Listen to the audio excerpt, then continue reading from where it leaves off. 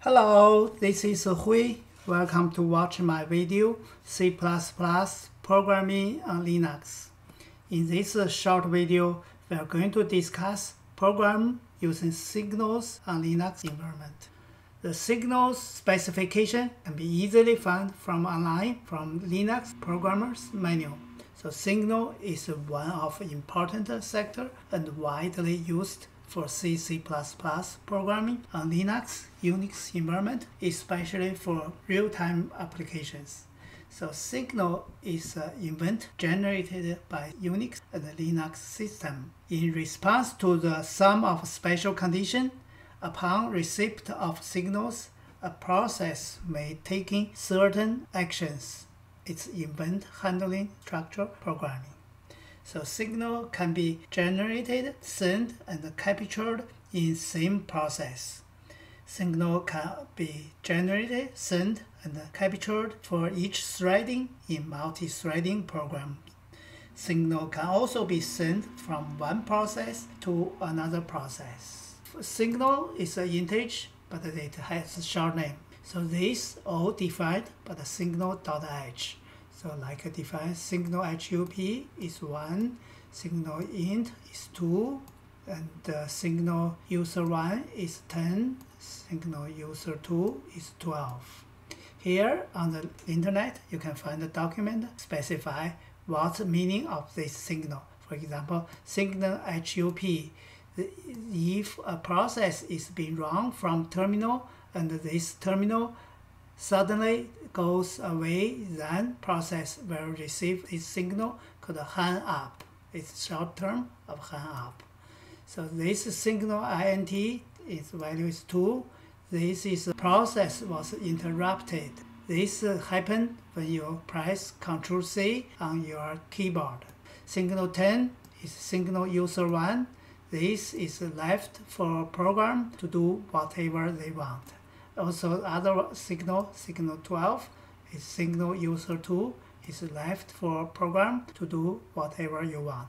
So if you want to program your customization program using signal in order not touch system signal like a signal int, signal hang up, we can also overwrite these signals. But uh, if you don't want to touch, you can use signal user 1 and signal user 2 for your customization program. Here on the Linux, we create one program called MySignal, which is demonstrate how a signal generate, received, captured by same process. And another program called pthread signal.cpp, which is demonstrate how a signal can be sent to each threading in the multi-threading program. And uh, two program, one called send signals and another called receive signals. These two demonstrate how the signal can be sent from one process to another process. So my first example called my signal.cpp.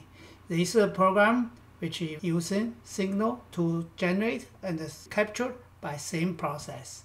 To be able to capture signal, we have to register a signal. We create a function called signal handlers. So we're using signal function to register our signal handler to be able to capture these signals. We just write four signals, signal hang up, signal interrupt, signal user 1, and signal user 2. All these four signals will be handled by these signal handlers. Signal 1 and signal 2 is the system signals. One is called hang up, another interrupt, which when we press Ctrl C, and uh, when we did this registration, means we, in this process, we overwrite the signal hang up and signal interrupt process.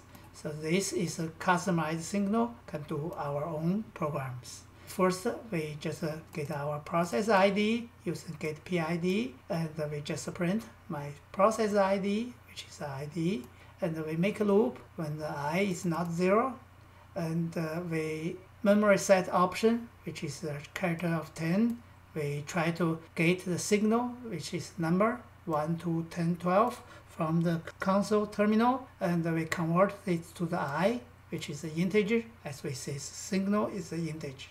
This is a short name, but it's integer of signal. and the function using to generate rise the signal, which called rise. So what's rise doing?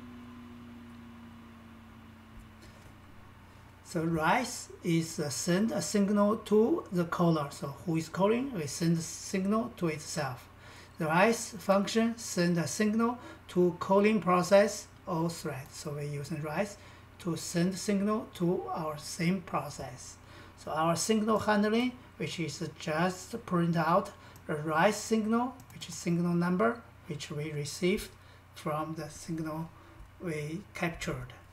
So when then we print the short name, what signal short name we captured, and we just print out received. This is uh, our simple program able to capture our signal from same process. So we using capture, we using signal to register signal, using our function signal handler to capture signals. We using the rise to rise the signal, generate and send the signal to same process. So our second example is called pthread signal.cpp. This program is a multi-threading program. We're using one of a previous video using the pthread program, which is uh, we use the pthread signal. We get the input, how many threads we're going to generate it. So we got a number of threads. We use it from command line argument one to get the integer. Then we create the pthread t array, which is called thread number 0, 1, 2, 3, 4, number of threads and we register our signal handler, signal user 1, signal user 2, which is number 10 and number 2, and the function which capture signal called signal handlers. Here is our signal handler function, which we capture the signal number. We just uh, update a signal signal which is defined as STD atomic. The type is the signal atomic T. Signal atomic T is an integer type, as we say the signal is an integer, which can be accessed as an atomic entity even in the presence of asynchronous interrupted made by signals. So this is a special type which uses handle signal in the atomic type. So atomic T type, which is signal, H is integer type. So we update. We use STD atomic which is uh, in one of previous video, we have demonstrate in order to not corrupt multi-threading to access resource at same times. So our thread function parameter is a thread ID, which called thread ID is 0, 1, 2, 3, 4. So what we do, we just first print out thread ID, this ID is waiting signals. And then we use the pause the pause function is for waiting signals to this thread. After this thread receives signal, and then we just print out this thread, which is this thread ID, which signal, which is signal number, and the signal short name, which received. This is just print out what signal we received from this thread. First, we make a loop, TID from 0 to number of thread, we just print out main program, create thread, and ID is 0123 because that's the loop. And we use a pthread create to create a thread. And this thread function first waiting for signals and then we print out which signal we received. And we make a sleep 3 second, we just waiting all the thread created and here there waiting the signals. Then we make a loop from the zero to number of thread. We send signals to this thread. To sending the signal to thread, the function called So this pthread_queue, first parameter is a thread which is we created from the pthread create. Second parameter is which signal we send to this thread. So we send two type signals for the TID is even, like 0 or 2, we send a signal user 1, which is number 10. For the TID is uh, old, which we send a signal user 2, value is 12. After the signals, we just use the pthread join to join thread. And finish all the thread, we just print out program finished. So we are going to test here is to send signal to the each thread and each thread after received signal and print out which number of signal we received. Our next example is called send signals. Usage is send signal. We need the process ID in command line argument because we're going to send signal to this process. So first we get a process ID convert to the integer and my signal initial is 1 so we make a loop each loop we try to input a signal number 1 2 10 12 which we use in our receiving program. And then we convert this to integer which is my signals the integer from input we convert to the my signal. Then we use the function which called a q this q function to send signal to a process. So this q function takes two parameters.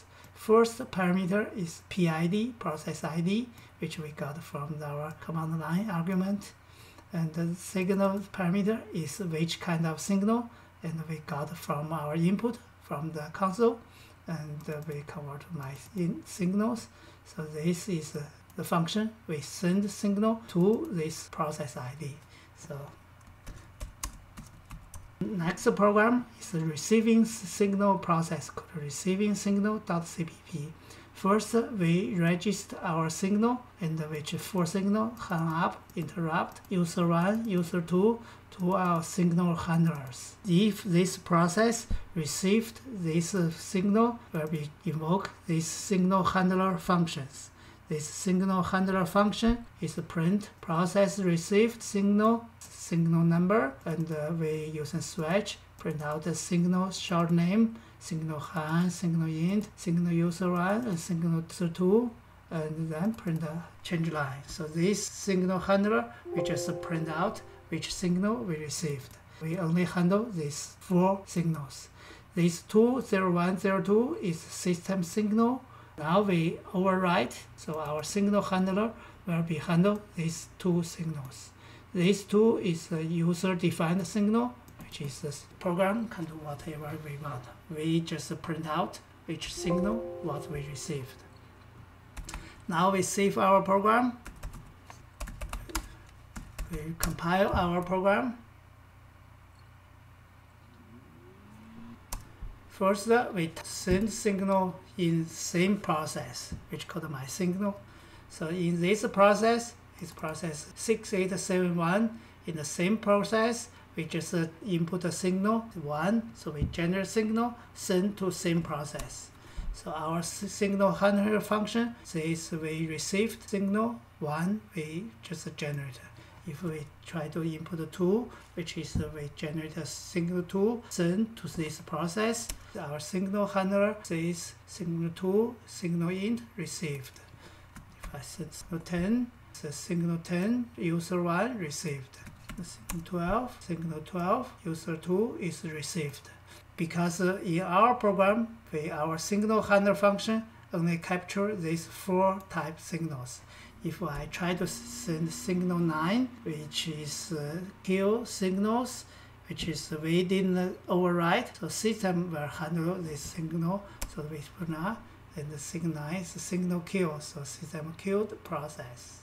The second example is a p-thread signal, which is uh, we demonstrate how to send signals to each thread. So this program, we just put a number 2, create a two thread, Program first Use using pthread create to create a two thread, thread 0 and thread 1.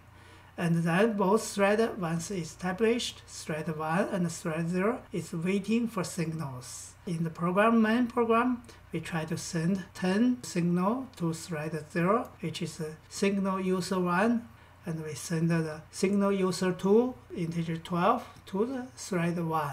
So you can see our thread 1 received signal 12 which is a signal user 2. My thread 0 received the signal and the signal user 1 and we send the signal user 1 to thread 0. So this is demonstrate how to send signal to the each thread in multi-thread program. Next example is send signal from one process to another process. So we are using two terminal to demonstrate. First terminal is the top terminal. We're going to the receiving signal process. This receiving signal process, process number is 6915. Bottom terminal send signal process, which send to 6915 we can send a 1, 2, 10, 12 because we customized only four signals. If we send 1, you can see our process received the signal 1, which is signal hang up. If we send 2, you can see our process received the signal 2, signal int. If we send a 10, this receiving process receiving the signal 10, signal user 1. If I send 12, receiving process receiving the signal 12, signal user 2. If I send a 9, our signal handling doesn't handle this, so the system default function will handle signal 9s, which is killing the process. So you can see our process being killed.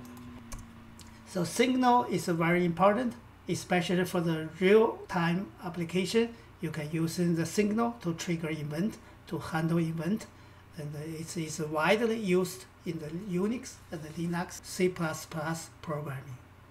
Hello, this is Hui. Thanks to watch my video. Hopefully this is useful.